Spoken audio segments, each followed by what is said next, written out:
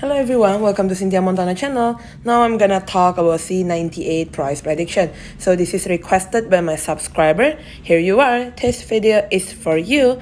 We're gonna start first on the one week chart to see the trend line. And as you can see here, the trend line here is still on the sideways places.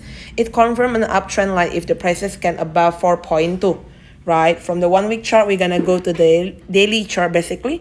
On the daily chart here is going to the pumping yellow one, upper band, 1.935 US dollar. The RSI stochastic, still natural position, not overbought, not oversold. For the moving average here, having a cross between the yellow one and the pink one side, slightly above the 1.8, right? So the next target is slightly on the $2. Okay, we're gonna go for a trading swing on the 4 hour chart. As you can see here in the trading swing here, you can enter slightly on the pink one side here on the 1.8 until 1.82, right? So right this, you can wait and see first and if the prices can break this 1.946, that should be a really good because the next target is at $2, right?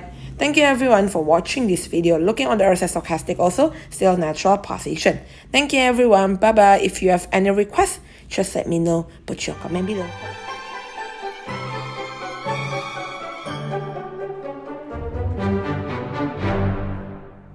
Hello everyone, welcome to Cynthia Montana channel. Now I'm gonna talk about C98 price prediction. So this is requested by my subscriber. Here you are, this video is for you.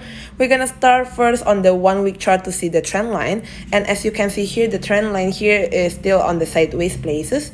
It confirms an uptrend line if the prices can above 4.2 right? From the one week chart, we're gonna go to the daily chart basically. On the daily chart here is going to the pumping yellow one, upper band, 1.935 US dollar. The RSI stochastic, still natural position, not overbought, not oversold. For the moving average here, having a cross between the yellow one and the pink one side, slightly above the 1.8, right? So the next target is slightly on the $2. Okay, we're gonna go for a trading swing on the 4 hour chart.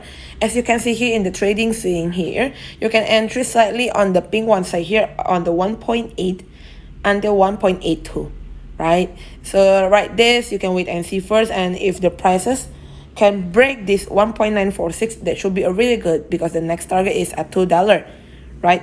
Thank you everyone for watching this video. Looking on the RSI stochastic also, still natural position. Thank you everyone. Bye bye. If you have any requests, just let me know. Put your comment below.